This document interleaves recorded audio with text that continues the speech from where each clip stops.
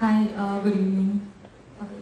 First of all, congratulations to all of you. So, being an artist, uh, I just want to say that thank you so much for bringing in the art so beautifully. And it means a lot to all of us, I think, whoever supports art and whoever the performance, uh, does performance themselves. So, what I really liked about the entire movie was that uh, the way Chris actually controls his emotion when he sees his father because I think as an artist, the first thing we learn is never to leave the stage, no matter what emotions you're going through.